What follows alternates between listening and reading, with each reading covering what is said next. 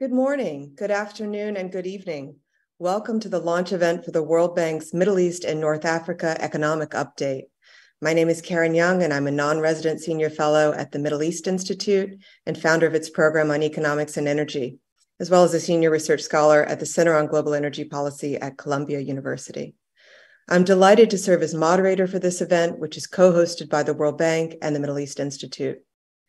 This event is being broadcast on World Bank Live and also on the MEI website. I'd like to welcome our viewers from around the world who are watching this live stream in Arabic, French, and English. I encourage all of you who are watching this meeting to participate in the conversation via the hashtag being used for the IMF World Bank Spring meetings, which is hashtag rethinking development. To kick off this launch event, we will hear first from the World Bank's chief economist for the Middle East and North Africa region, Dr. Roberta Gatti.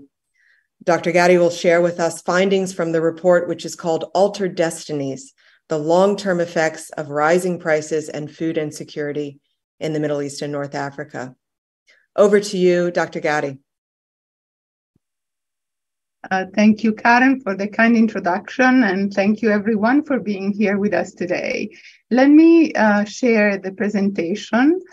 Um, and uh, JJ, if you can just confirm that you see now in uh, the slideshow um, modality, that would be helpful. I can confirm that. Perfect. Looks good. So here we are, altered destinies, uh, and the challenge of food insecurity in the Middle East and North Africa as the core topic that we decided to uh, focus on for the April 2023 update uh, of um, uh, the economies in MENA. This is a product of the MENA Chief Economist Office, and you see all the authors acknowledged here in this uh, page. Uh, as it is customary for this type of reports, you will see a first part which focuses on the macroeconomic outlook, and a second part which focuses on the spotlight theme, which is food insecurity, and which we believe is very timely for our region. So, at the cost of spoiling the surprise, let me start with some of the key messages of the report. And I will begin with the macro story. And the macro story is one that uh, uh, sees a slowdown in MENA economic growth after the oil windfall of 2022. And so the region uh, that grew at 5.8% in 2022 um, is now forecast to grow at only 3% in 2023. And much of it is due to the change in, expect, in growth expectations for uh, GCC, the Gulf cooperation countries, which grew on average at 7.3% in 2022, but are expected to grow around 3.2% in 2023. Now, a concern that has been on everybody's mind for 2022 has been inflation. And it's true that the region inflation rate rose dramatically in 2022, although in a previous report we showed that this inflation rate was lower than the counterfactual that it could have been thanks to various product market interventions. But here, what we focus on is the fact that food inflation grows even faster. Just two numbers that I would like you to keep in mind. Food inflation year on year between March and December 2022 was 29%. Headline inflation year on year was 19% why should we worry about rising food prices, even if they are temporary, even if they taper uh, in the coming months? We should care about them because they pose severe challenges to the region that may last for generations. And what you will see in the report is thinking through the causal chain of how rising food prices can affect nutrition for children uh, young children or in utero, what are the implications for their productivity as future workers, and what we will see also what are policies that can be uh, enacted to counteract these challenges. Now, these challenges compound an already inadequate situation of child nutrition and health pre-COVID in the region. And something that uh, you might expect to hear from me if you followed at all uh, our recent series of MENA Economic Update is a focus on data. And unfortunately, and as in other sectors, even for child nutrition and health in MENA, we have dated data. And so policymakers and also economists are flying a little bit blind. Now, when we move from what has happened in the past to what we can forecast for 2023, the report has also uh, used new techniques such as machine learning to forecast uh, a measure of food insecurity for the region. And it turns out that food insecurity has deteriorated in the region, and probably unsurprisingly, but equally sadly, it is has the hotspots in Syria and Yemen. The conclusion that you see me bring into the conversation, at least the presentation of the report today, is that we need to act now because the cost of inaction uh, because of the repercussions through the productivity over a lifetime of children, but also repercussion over future generations can be much higher. So these are the key messages, but let me now start with the macro outlook for the region. What you see here on the left is how the MENA region, depicted in dark red in panel A, performed in terms of cumulative growth starting from 2021 vis-a-vis the world. And so you see that the red line, the dark red line, is much above the yellow line. And the steeper slope that you see between 21 and 2022 is indicative of that 5.8% that I was mentioning, which is higher than the average growth rate. And then you see that that line, sort of the slope of that line flattens out, and that indicates the sort of 3% forecast for next year and the sort of 3.2% forecast for 2024. On the um, right hand side panel on panel B, you see a tale of two MENAs. Uh, the, the growth spurt in uh, 2022 was really driven by GCC oil exporting economies. And you see uh, their growth trajectory depicted in dark brown at the top. Very fast growth in 2022 and a slowdown in 2023. You see also in the lighter brown color at the bottom the trajectory of oil importing countries, excluding Egypt. And you see at the end, towards 2024, a sort of divarication, a divergence between this growth path in oil exporting economies and oil importing economies. Uh, the dashed line represents a little bit of an outlier, which is Egypt. Egypt grew very fast in 2022. Um, its for growth forecast has have been downgraded to 4% from 6.6% in 2022 for 2023 on the back of improved uh, uh, receipts from uh, tourism, the Suez Canal, and construction. However, is a country that presents uh, long-standing vulnerabilities. And when we look at the private sector forecast, we see that the range of forecasts is very wide for Egypt in 2022, anywhere between 2% and 4.5%. Now, I was talking about private sector forecast, and what you see here in this slide is exactly um, some sort of uh, manipulation or you know algebraic uh, work on private sector forecasts, which are produced monthly. And we thought that this was interesting and useful because we could look at how the growth forecasts were updated every month starting with uh, February 2022, which was the time of Russia's invasion of Ukraine. And so what you see on the left-hand side are the forecast upgrades or downgrades for 2022. And you see a sharp upgrade on the growth forecast for oil exporters and GCC immediately after uh, the Russian invasion of Ukraine. And you see a progressive downgrade of growth forecasts for oil importing countries, uh, represented here in sort of light brown, uh, continuously until about October 22, and then kind of plateauing uh, until February 23. Uh, what so what you see for 2022 is this divergence, this tale of two MENA that I was referring to at the beginning. What you see for 2023 is a continuing tale of two MENAs, but at the lower levels of growth. So in February 2022, the forecast for 2023 were upgraded upwards for oil exported, but then things started tapering down and they progressively taper down for developing oil importers, which are uh, countries about which we are um, overall more concerned in terms of their macroeconomic outlook. Now, I told you a tale of two menas for growth, but I think that a tale of two mena also applies for the question of inflation, which is one of the other big concerns that we have uh, about the region. Uh, when I was talking about growth, the dividing line were oil exporters versus oil importers. Here, the dividing line of these two MENAs are countries that are uh, in a fixed or conven- conventional peg with the dollar or with a basket of currencies, and countries that have had other forex uh, um, arrangements. So let me just go through this slide, which is probably the more complicated of the presentation, a little by little. So what you see here is the average year-on-year inflation from from the sort of post-pandemic until February 2022 in the region. You see quite a variation in uh, inflation levels, uh, including, and please note that uh, the Iran and Lebanon are set aside and their inflation rate is measured on the right-hand side um, axis because it's off the chart vis-a-vis the inflation rates of other countries.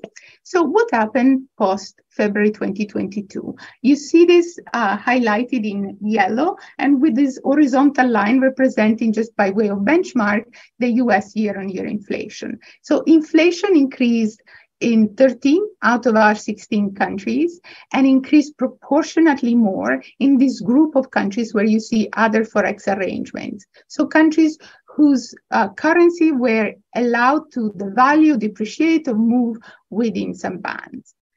Uh, since exchange rates seem to be so important in determining the inflation rate measured within a country, we calculate the counterfactual inflation rate that would have happened once we adjust by the uh, exchange rate movements. And what you see is almost by construction and definition, no change between the yellow bar and the blue bar in the first group of countries that have a conventional fixed peg because their currencies did not depreciate. But what you see on the right hand side in the group of countries of other forex uh, arrangement is that in a country like Egypt or the Palestinian territories, the exchange rate depreciation slash devaluation accounted for the bulk of local inflation. Um, so as we keep that information in mind, let's move now to food inflation, which is somehow the sort of core, the nexus of uh, our report, and the one that uh, links in the macroeconomic part with our spotlight on food insecurity. So what you see in the second slide is uh, average food inflation before February 2022 in uh, dark red, and average food inflation post Russian invasion uh, of Ukraine. And what you see is that food inflation has increased almost across the board with few um, uh, just few exceptions, and it has increased proportionately more in countries with other foreign exchange arrangements. Some of these countries are large food importers, and uh, the sort of flexibility or sort of ability to move their foreign exchange translated into much more costly uh, food items um, uh, internally. Now, to bring the two of you together, headline inflation and food inflation, we're going to the next graph. And what we see here is food inflation uh, represented on, uh, on the y-axis and headline inflation on the x-axis. And you see that with the exception of Jordan and Qatar, all of our countries had higher food inflation than headline inflation, headline inflation. I just wanted to remind us that Egypt and Lebanon are essentially off the charts, and my hand is going like towards there up uh, to the right because their uh, food, their food and headline inflation were so high uh, and read on a different scale. Now, why this focus on food inflation?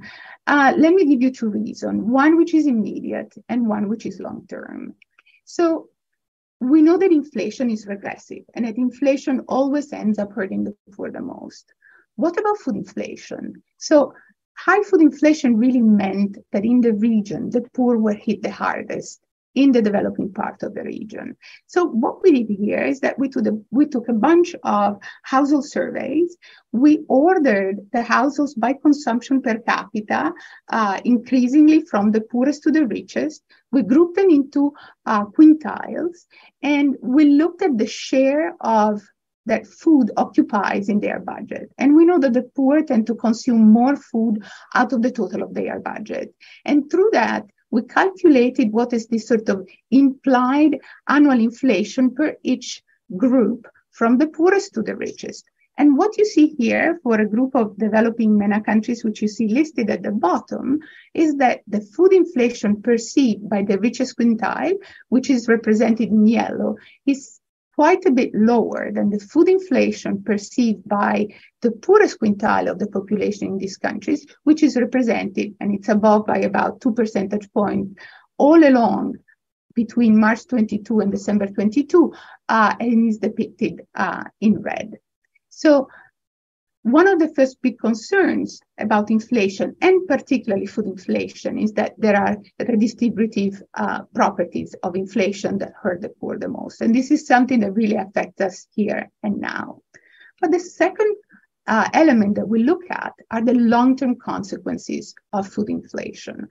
And uh, many of us are familiar with the vast literature that exists looking at the importance of prenatal and the first 1000 years of life for the development of cognitive function, productivity, and even potentially the transmission of the uh, intergenerationally of these traits.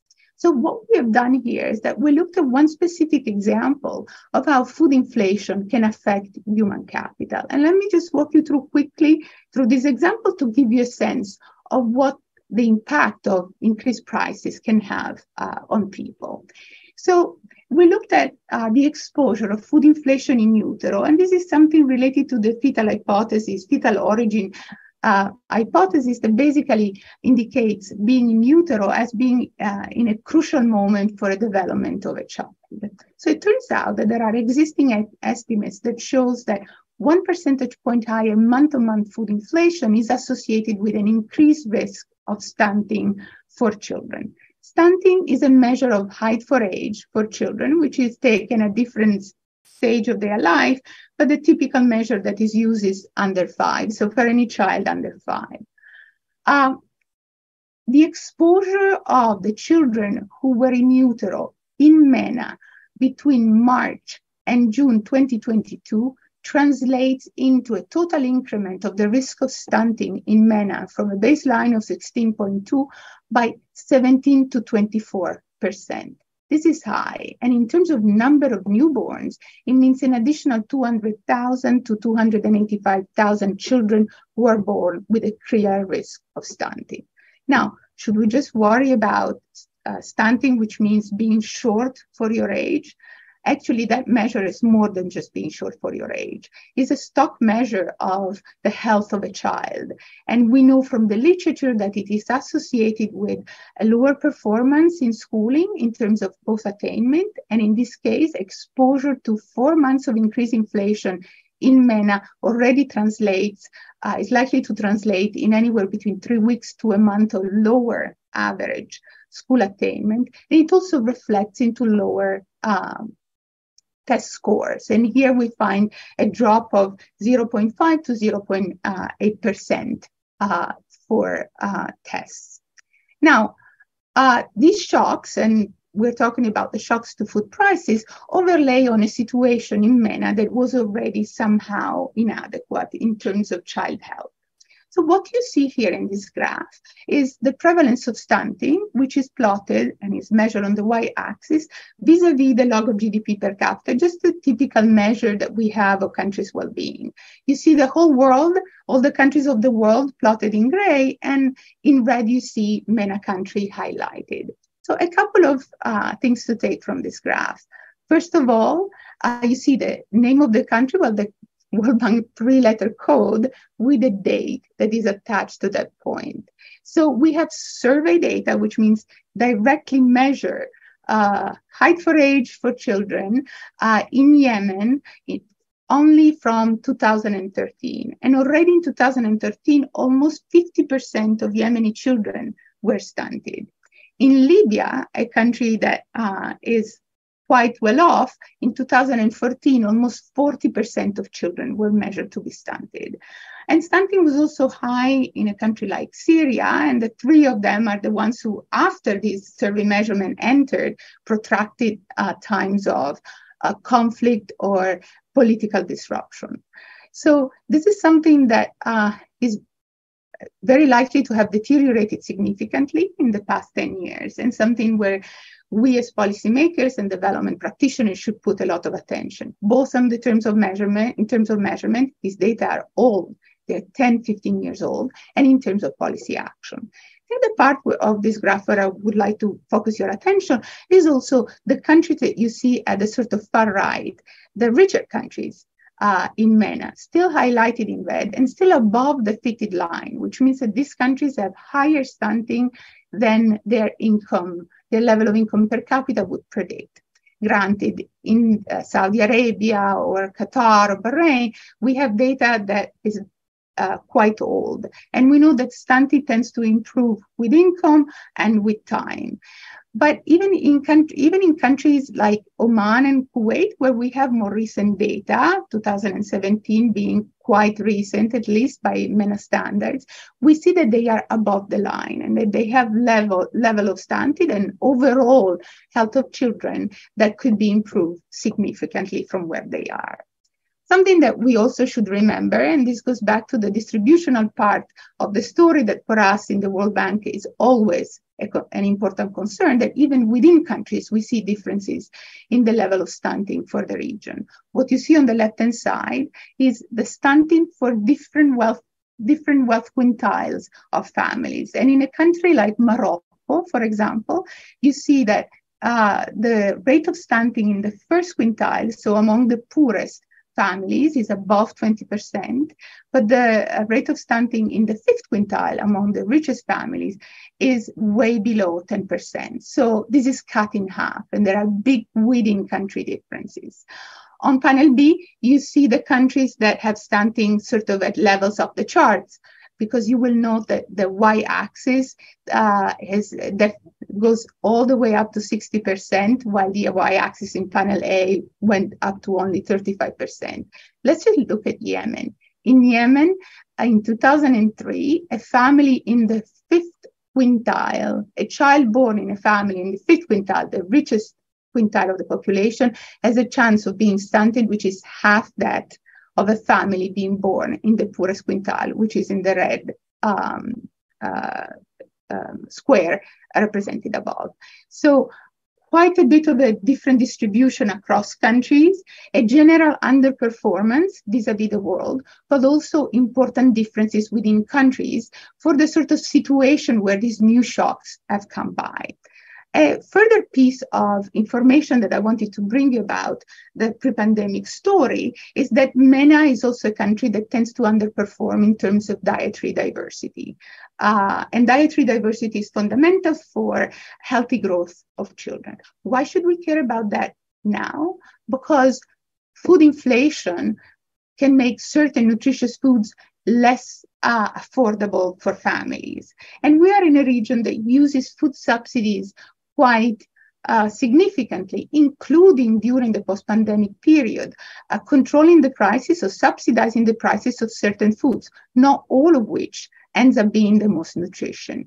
And what I'm hinting at here is not only stunting and malnutrition, but the double burden that is very typical of middle income countries of having both children that are stunted therefore uh, suffering from malnutrition in some form, and children that are obese. I need to be true to myself. I need to conclude the part of looking back in the situation of health of children in MENA by looking at how we measure it and how well we measure it. And unfortunately, the story in here, I will sound like a broken record in these presentations because in MENA, only 11 out of 19 countries have data, survey data, so directly measured data for health and nutrition of children uh, uh, after 2015. And just a reminder, we're in 2023 and many things have changed since, including the pandemic, protracted conflict, and uh, now this uh, shock that has come from the Russian invasion to Ukraine. Just as a comparator, a country like Mexico uh, has its uh, last directly measured survey for health and nutrition of children in 2022. Now, I looked at the past and I looked at the sort of causal channels through which uh, food inflation can affect uh, human capital, but let us look now at the present. And this is the part where we relied on a collaboration with our research uh, department here at the World Bank. And we had uh, a sort of uh, modeling and prediction forecasting of uh, severe food insecurity in, in the MENA region, uh, using data from the FAO and using machine learning technique to predict this uh, data where data were not available what comes out of this story about severe food insecurity and what you see here in the graph is the forecast for 2023. Well, a couple of uh, things to note. First of all, food insecurity in the developing part of MENA has deteriorated quite significantly in the past 20 years, going from 11.8% in 2006 to 17.6% in 2023. Unsurprisingly, but equally sadly, Syria and Yemen are the hotspots of this food uh, insecurity. And this is something, and these are, these are data and modelization pre the 2023 earthquake. So the situation might be even more uh, dire in, in Syria. Something else that we should note is that upper middle income economies, Jordan, Iraq, and Lebanon, are significantly underperforming their income peers. And you see in the difference between the top of the uh, dust blue uh, lines and the dashed line, which represent the benchmark prevalence for income comp- for country in the same uh, income group. We also see that the high income countries are somehow underperforming vis-a-vis their high income peers, and the one that is underperforming the most is uh, Oman and the, the, uh, one of the countries that should put uh, significant attention to child health and development. Now, if we talk about attention to child health and development, what can we do? So, first of all, we need to act now. And I hope that by highlighting and bringing to light the long term consequences of food insecurity, I convince you that the cost of food insecurity compound over time within the life of a person, but can also have a repercussion intergenerationally. Many things can be done. Uh, you know, cash and in-kind transfer can be the sort of first port of call to protect the most vulnerable. But in a uh, situation of tight fiscal space, which is definitely the case for oil importing countries, not the case for oil exporting countries necessarily, targeting of the poor can make this action the most affordable fiscally. We talked about the importance of uh, shocks while in utero. So you don't only want to protect the, the child, but you really want to protect the mother. And so the whole um, group of the whole set of policies that protect expectant mothers, that allow them to take care of their children effectively, and that sort of continue to uh, invest on changing the norms about mother nutrition while, pre- while expectant is very important. Of course, there are also longer term and supply side, we can define them policies that uh, can aim at building resilient food systems in a region like ours, which is uh, highly exposed to uh, things like droughts and sort of weather shocks, but also expanding the coverage. And some of our countries are doing that effectively the coverage, the access, the affordability, and reducing the fragmentation of healthcare. Uh, I want to conclude here on data and make sure that data are not an afterthought. If we fly in the dark without data, we are not able to assess the actual situation of child health and nutrition. We're not able to design uh, effective uh, uh, actions, and we are not able to target them effectively so that the costs are contained. Contained. So let me stop here and thank you for your attention, and I look forward to the conversation that will follow. Thank you, Karen, Karen and over to you. Thank you, uh, Roberta Gatti, again with her commitment to uh, to survey data and um, and tracking human capital in the region. Thank you for that excellent presentation. Um, let's have a bit now of a panel discussion. I'd like to introduce our esteemed panelists. Um, all of their bios are on the World Bank Live page, so I'll keep the introductions brief. You can learn more about them online. But first, we'll go to uh, Mr. Ferid Belhaj, who is uh, the World Bank's Vice President for the Middle East and North Africa. And second, we will hear from Dr. Muhammad Sulaiman Al Jasser, who is President and Chairman of the Islamic Development Bank Group. And the IDB was a partner um, in this report, which you can also see um, the full copy online. Third, we'll go to Dr. Paul Salem, who is president and CEO of the Middle East Institute. Um, and uh, Roberta Gatti uh, will be with us to handle other questions if we have any technical questions about uh, the report, and uh, we'll get more from her economist perspective. If it's all right, I'd like to go to um, uh, Mr. Belhaj first. And, and let's kind of point back to the World Bank and in, in your work on a day to day basis. Um, what is or what can the World Bank do um, to address food insecurity across uh, the Middle East, North Africa right now? Yeah, thank you very much, Karen. And uh, again, I'd like to uh, thank very much uh, His Excellency, the President of the Islamic Development Bank, and Paul uh, for uh, engaging with us and hosting us. and also, of course, the whole World Bank team and the Islamic Development Bank team who have worked uh, to make sure that this report uh, is, is issued on time and with the high quality that uh, we have been accustomed to. So thank you so very much for that.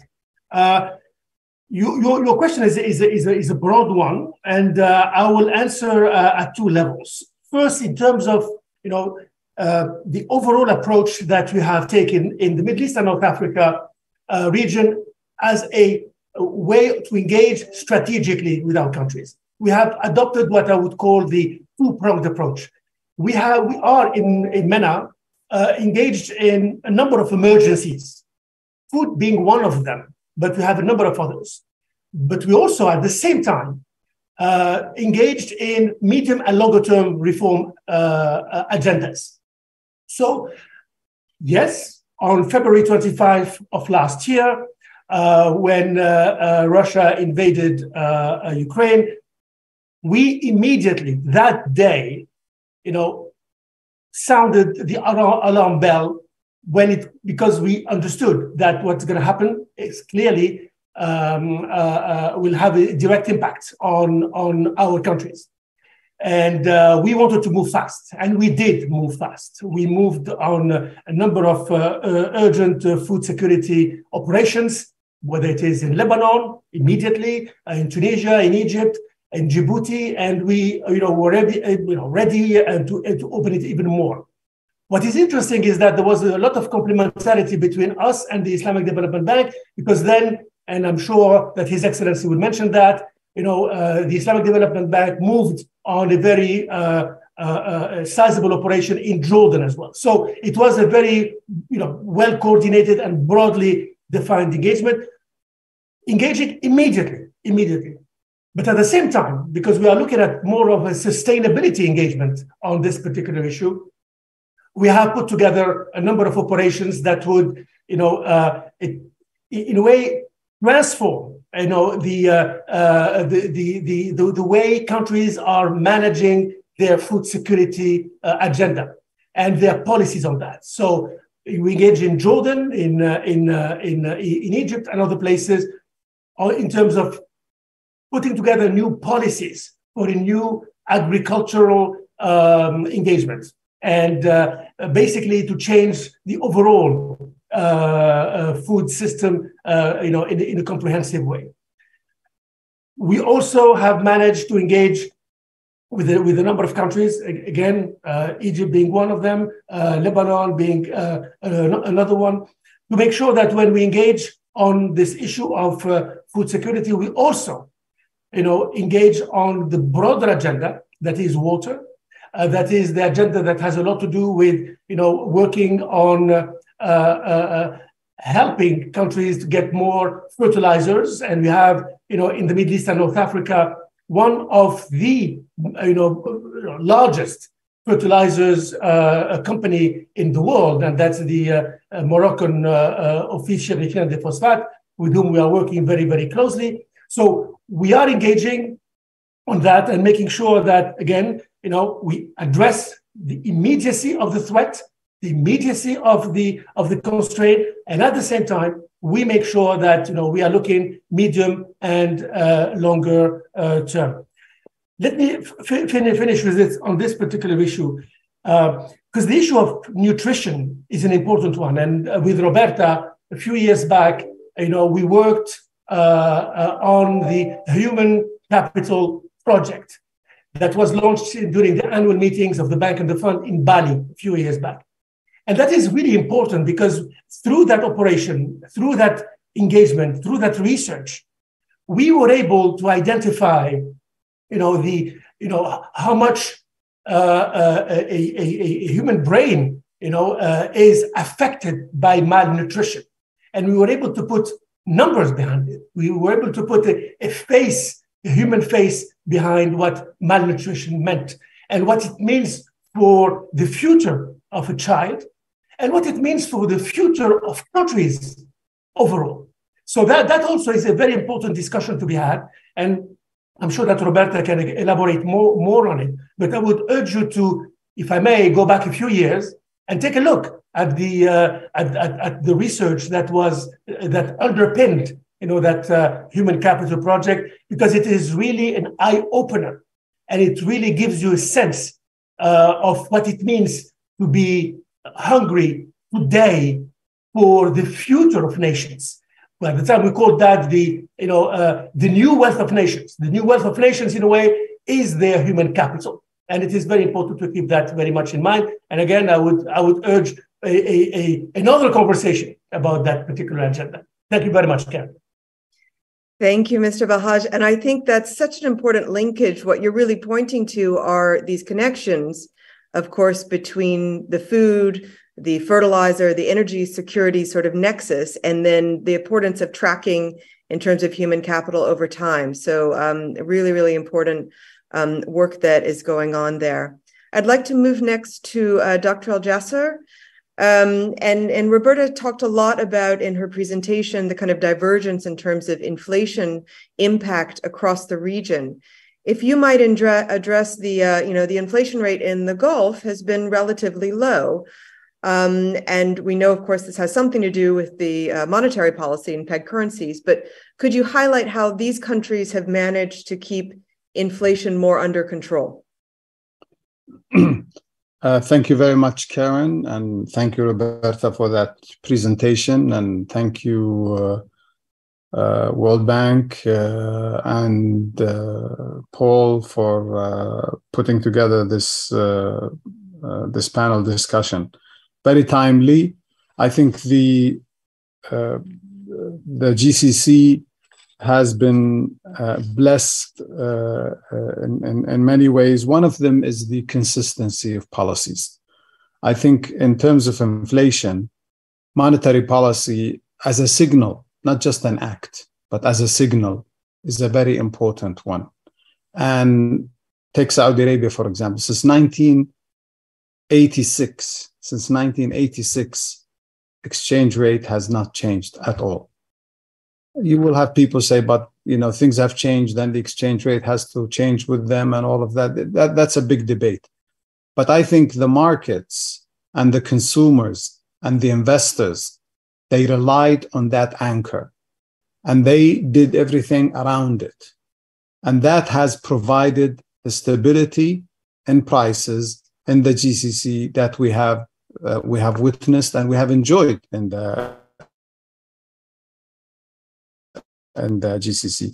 So I think in country commodity producers, we should never underestimate the importance of exchange rate stability. Uh, I would even claim that we should never underestimate the importance of uh, monetary stability for all economies, not just for uh, uh, commodity producers. And the numbers have shown that. Of course, that's not to say that macroeconomic policy, particularly fiscal policy and trade policy, didn't play, play a role. It also played a role. And also, that was predictable competition in, for example, the Saudi market, be it for food products or any other products, is very strong. So competition provides a shield uh, from the exorbitant prices that sometimes are not as, as a result of shortages as much as they are of manipulation. And as we learned in economics, prices are very flexible upward, but very sticky downward. So if you do fiscal and trade policies in addition to the monetary policies and the exchange rate policies that will give uh, a predictable, stable outlook.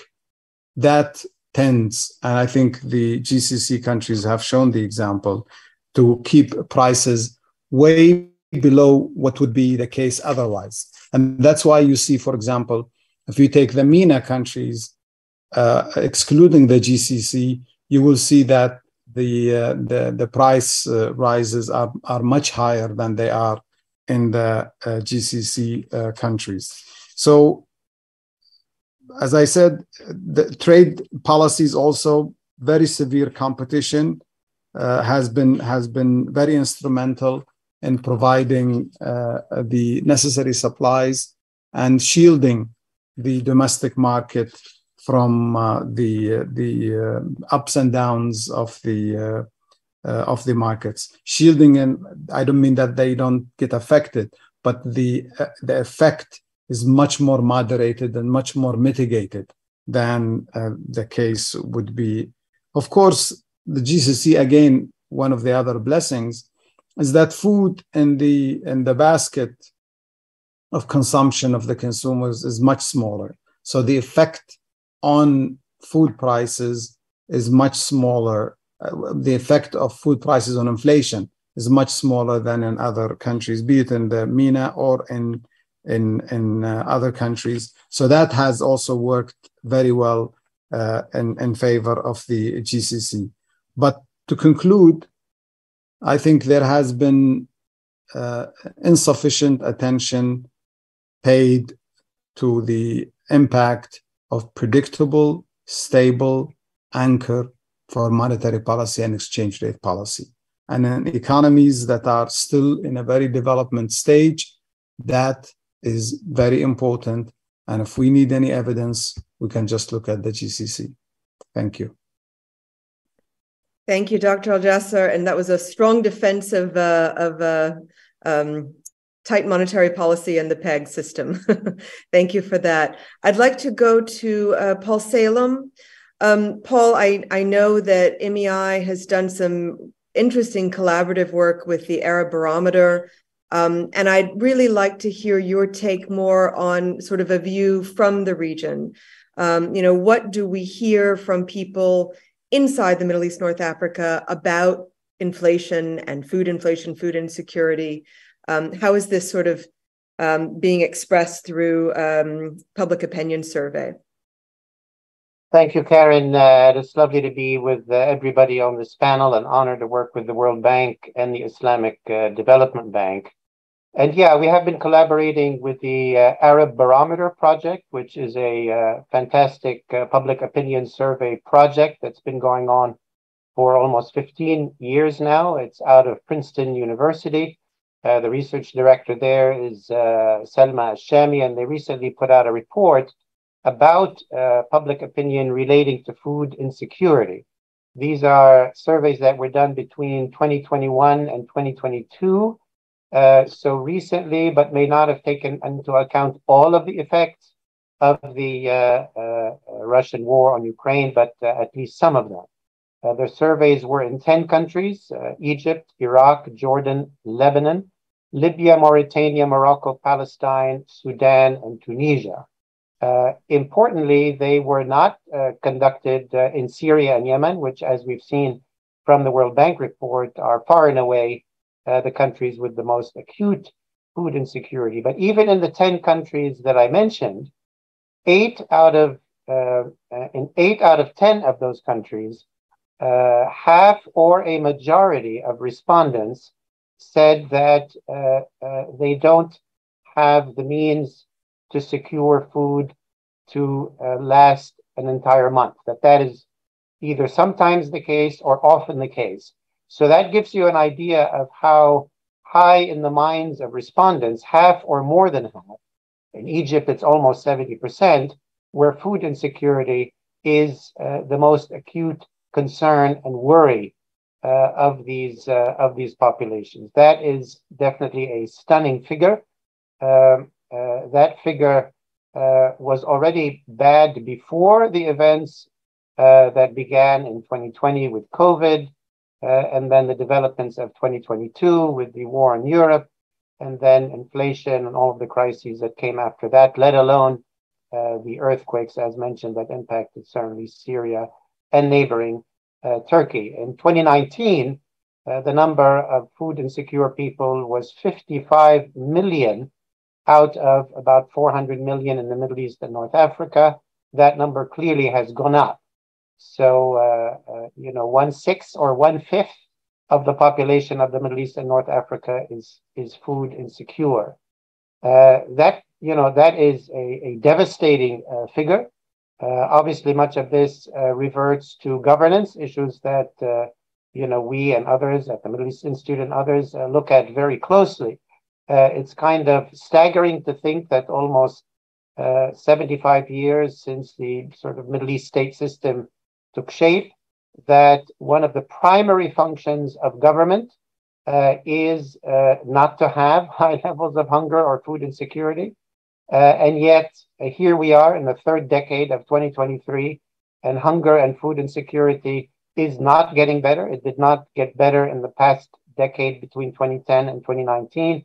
It certainly got worse in the last uh, four or five years. And I think that is a, a very stunning, uh, you know, and, and sobering thought.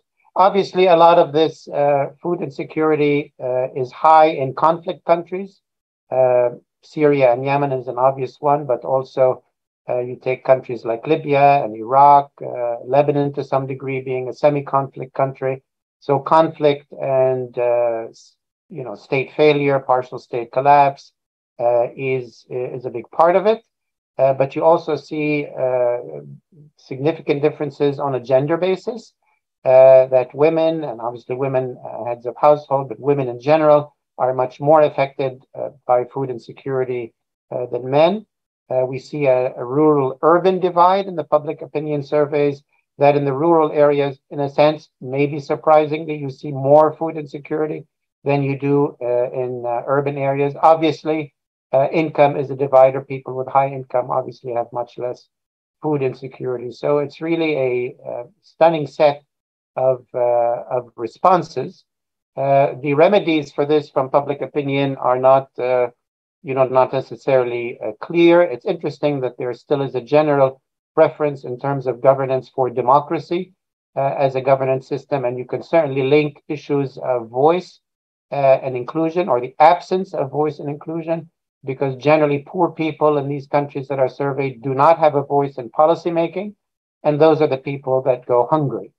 Um, so uh, it's a it's something to look at, something to uh, consider. Thank you, Karen. Thank you, Paul Salem, for um, for those remarks and for bringing us back to you know thinking about how people are describing their own situations um, right now in this difficult time. I'd like to go back to Dr. Gatti. Um, Roberta, I mean, could you walk us through a little bit about um, you know the evidence behind this premise, this you know very stark premise of the report that food price inflation hurts children, but that the consequences are so enduring um, and that you can measure them. Even a short term price shock um, in food can you know create these uh, these consequences in learning and in stunting. Um, so how how do we know this? Can you walk us through that? Happily, Karen, and this is a question that is very very close to my heart, having been one of the sort of co-creator of the Human Capital Index. But before I delve into that literature, I wanted to make a clarification about the report and one of the slides that you saw uh, on inflation, the one that sort of grouped countries in fixed exchange arrangements, other and other arrangements. Clearly, um, a foreign exchange arrangement is part of a broader system, and not all fixed exchange arrangement can be sustainable unless the fundamentals aren't right. And there's something about GCC countries, about the sort of wealth of their savings and the sort of positive terms of trade shock that they had in the past years that made those pegs sustainable.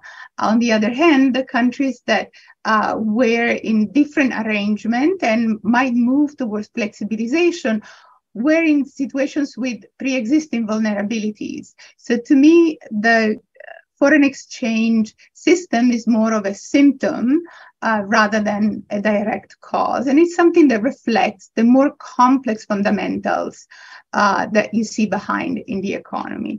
But now let me go back to what has been a passion for me uh, f- for a lifetime. So uh, you ask about why these long terms for even a temporary shock. Let me sort of walk back a second to a concept that I put forth without even uh, defining it, which is human capital.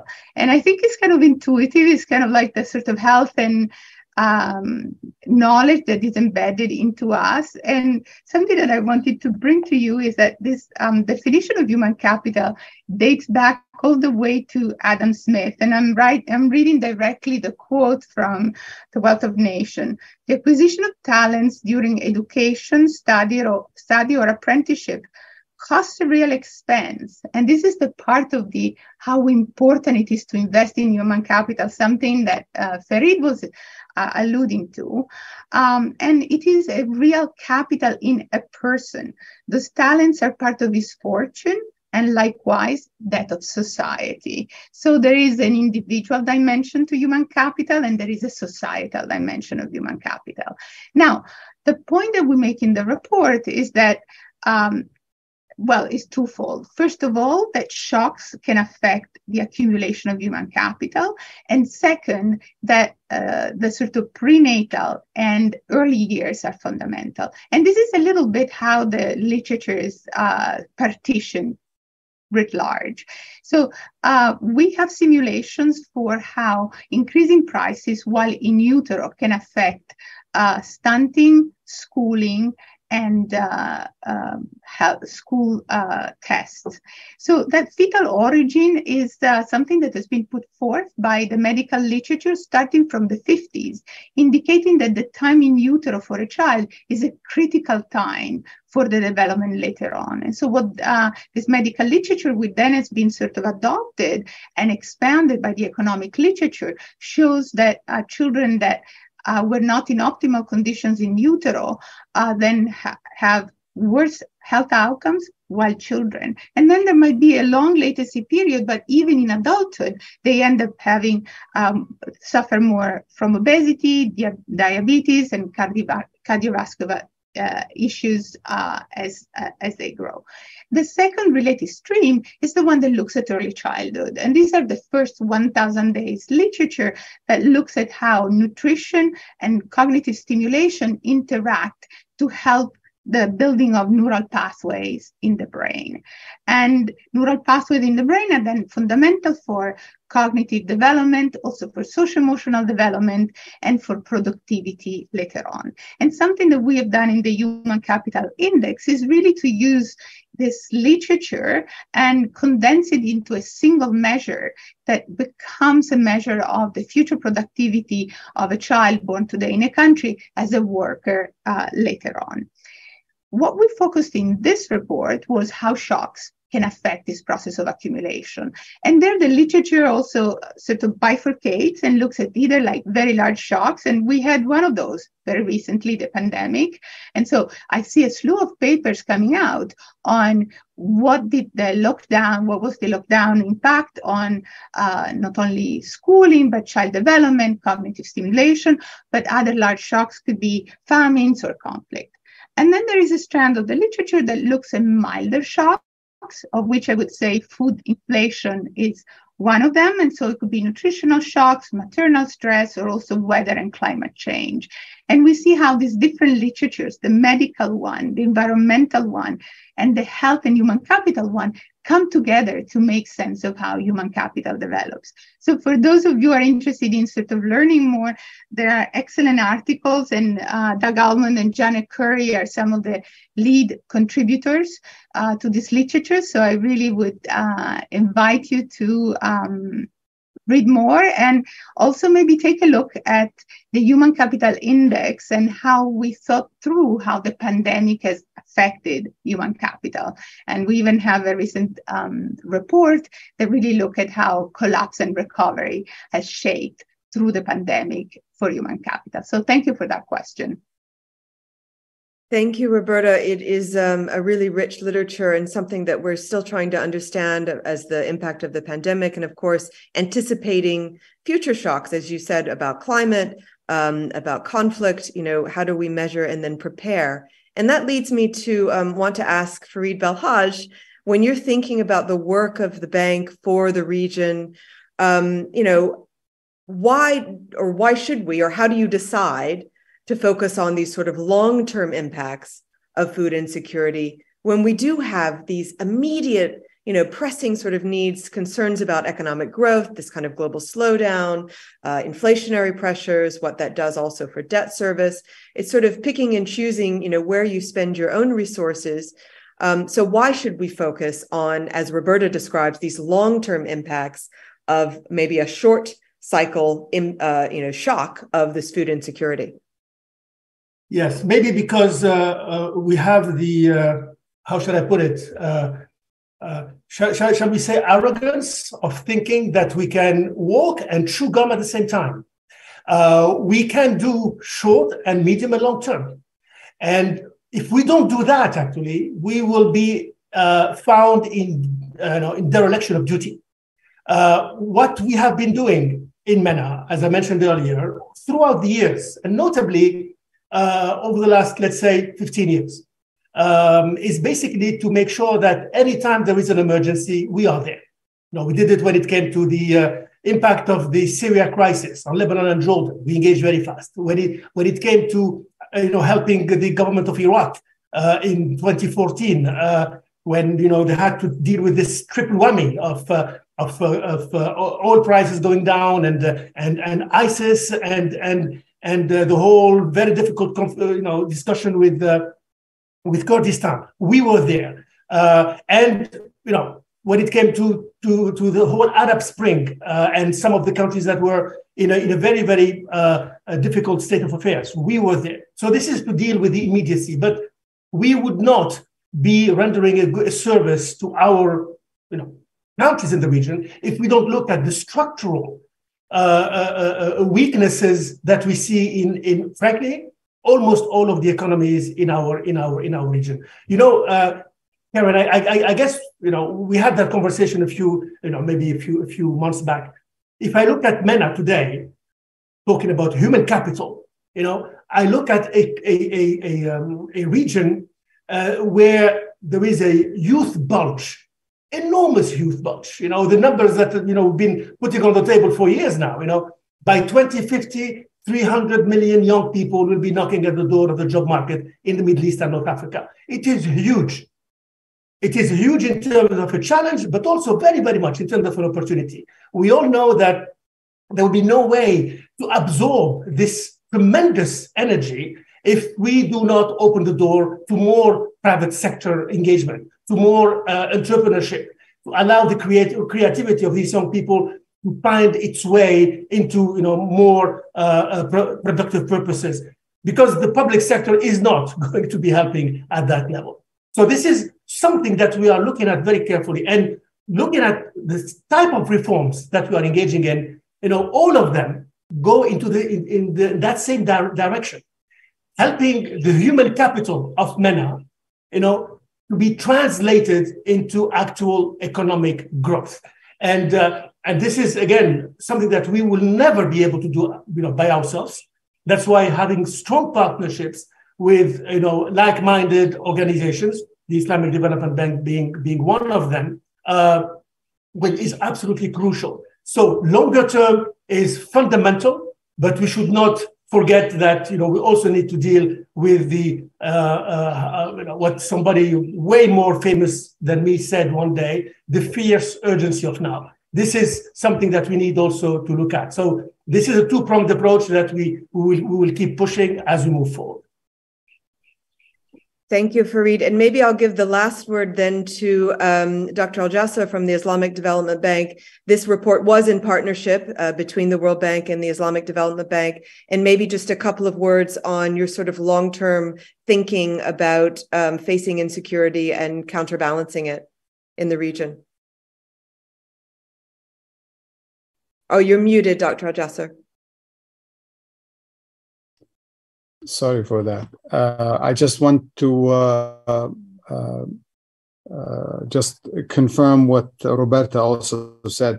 When I talk about the fixed exchange rate, I talk about a credible, sustainable one. I don't talk about uh, others that are just uh, choices of convenience. No, these are choices of deliberation and and long-term planning with the rest of the macroeconomic policies. We in the Islamic Development Bank have been very concerned about the events that happened over the last couple of years. I mean, first it was the COVID, and then we've had the the uh, food prices uh, emanating from the conflict in the Ukraine, and then of course we have the climate issues becoming very serious. And we have uh, embarked upon uh, uh, putting packages or programs to deal with, with these issues. So we had one about a $4.5 billion package for to deal with the COVID. We had a $10.5 billion package to deal with the with the food crisis, and we had about a $13 billion package to deal with the climate issues uh, and how to ameliorate uh, the uh, climate difficulties that are facing our member countries.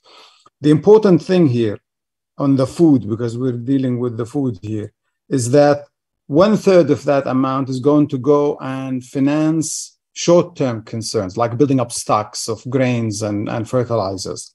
But the other two thirds are really there to invest in long term farming that will enable the population, the areas, to depend on themselves to produce enough food for them and hopefully then for the urban areas uh, after that. This is very important. One of the major mistakes that have been made in the past is that we neglected agriculture. We paid all the attention to industrialization and we forgot that we have to feed people before they can become industrial or become anything else. So that is really where we in the Islamic Development Bank are focusing on and we have already committed more than out of the out of the 10.5 billion. We have already committed more than 1.7 billion, and the rest is, is under consideration. And we hope that the uh, membership, uh, also in collaboration with the World Bank and other institutions, that we will uh, bring about real change in the way we deal with farming and food production and food distribution in the member countries.